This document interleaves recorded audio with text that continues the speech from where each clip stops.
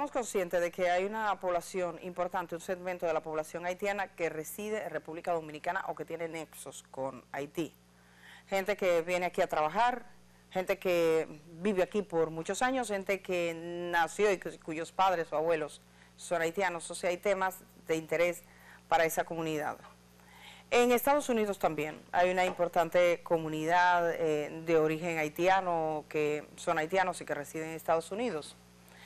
Y, echan un vistazo a su país, que es un país que vive eh, una gran penuria.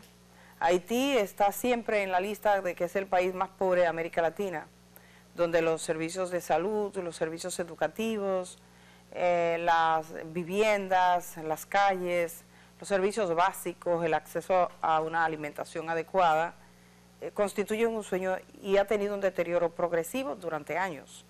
Haití vive una situación de precariedad por años. Tiene ya muchos años en esa lista que es tan infame. Por supuesto, hay muchos factores que pueden explicar la gran miseria que ha arrastrado Haití durante la historia que tiene. La democracia haitiana le costó mucho al pueblo haitiano liberarse de la esclavitud, tuvo que pagar, tuvo que pagar hasta eh, el siglo XIX, todavía estaba pagando lo que pidió Francia eh, a cambio de su libertad.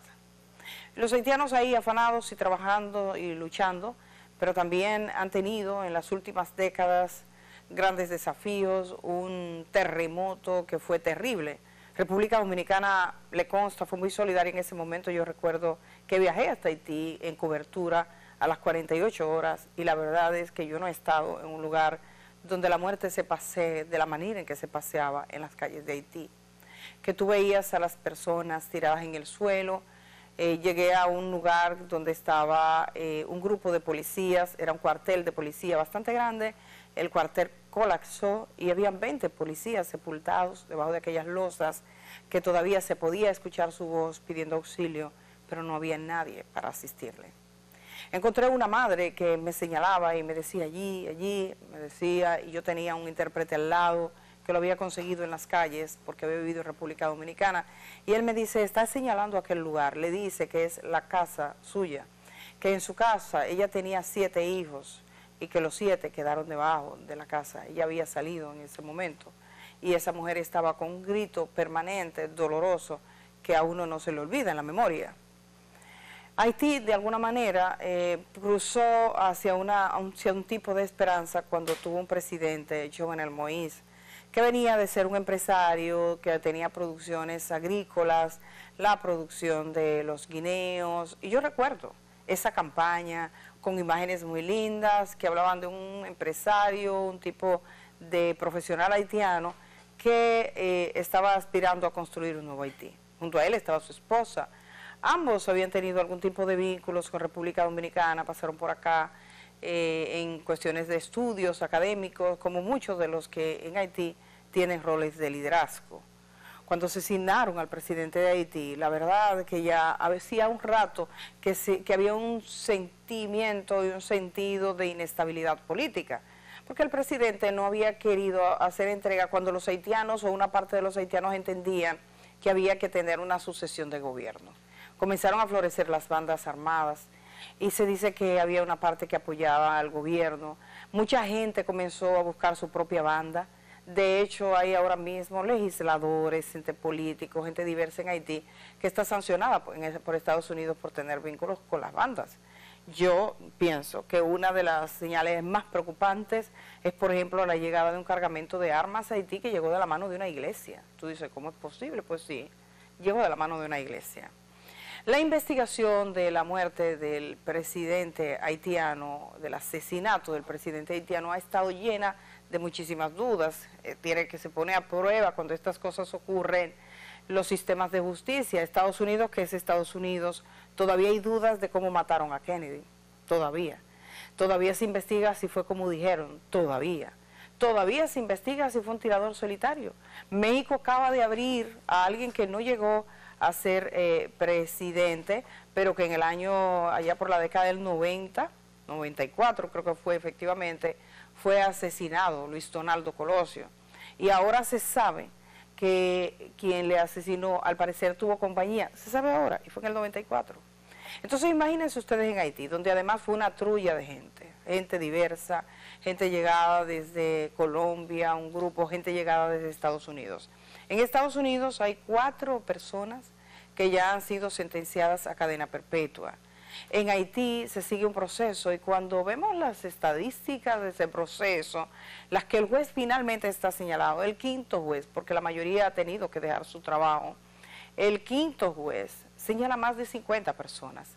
Ese documento, el documento que le he compartido acá a, nuestra dirección del programa para que lo veamos, es el documento que ha sido filtrado esta semana por un medio de comunicación haitiano señalando que hay más de 51 personas imputadas por la, el asesinato del presidente de Haití. Si vamos subiendo, ahí están los nombres. A mí me gusta mostrar las cosas de forma directa.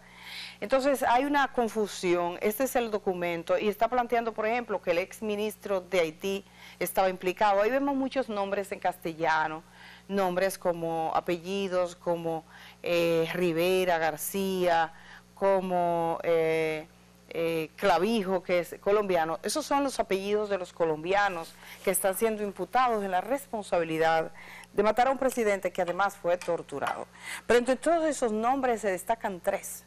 El de la viuda, el, del, que fue primer ministro y fue también eh, canciller de Haití, Claudio José, y el del ex jefe de la policía haitiana. Nos concentramos con la esposa, con la viuda, una viuda que estuvo presente a la hora de la muerte, que resultó lesionada solo en un brazo y que dijo que ella había, ella tenía, eh, que había sobrevivido por pura casualidad con su testimonio. Recuperamos esa imagen de eh, la señora Moïse, Martínez Moïse, que no ha dicho nada hasta este momento. Ella no ha dicho nada hasta este momento de las acusaciones que pesan en su contra. Sin embargo, ha hablado su abogado. Yo quiero, con respecto a ella, hacer dos eh, referencias. Primero, que incluso yo misma pensé que tenía crédito una información que vi en algunos medios de comunicación que decían que ella estaba siendo imputada en Estados Unidos. En realidad, la fuente original de la información en Estados Unidos lo que hace es una referencia al documento que yo les acabo de presentar, es un documento haitiano. Todavía Estados Unidos no ha dicho nada respecto a ella. Y yo y creo que muchos dominicanos quedaron convencidos de que estaba siendo imputada por Estados Unidos porque esto ha sido titulado en grande. Pero en realidad, cuando vamos a la prensa estadounidense que publicó la información y en la que dicen sustentarse esos medios, es en el documento que básicamente cuestiona la credibilidad de ella. Dice, recordemos que el presidente es asesinado el 7 de julio del 2021 y, la justicia haitiana lo que está diciendo básicamente es que lo que ella dice no es creíble.